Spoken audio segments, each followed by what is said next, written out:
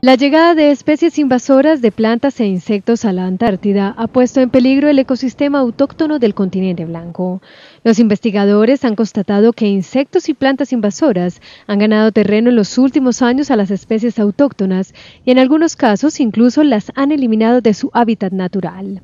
El biólogo chileno Marco Molina del Centro de Estudios Avanzados en Zonas Áridas de Chile sigue el rastro de la poanua, una pequeña planta de color verde presente en zonas urbanas del hemisferio norte, que ahora crece a sus anchas en algunos sectores de las islas Shetland del Sur, la parte más septentrional de la Antártida. Bueno, nosotros estamos estudiando el efecto que tiene la llegada de plantas invasoras, que en el caso específico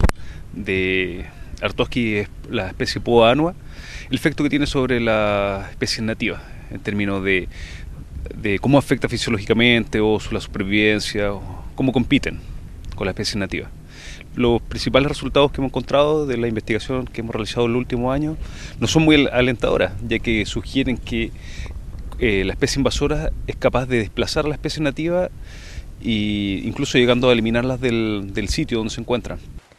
La llegada de especies invasoras a la Antártida tiene un solo responsable, el hombre. Hay varios ah, trabajos que muestran que las semillas de esta planta pueden ir adosadas tanto en el velcro de la parca o en los zapatos, pero también muchas veces en el barro que van en la rueda de, de la maquinaria o de los mismos contenedores.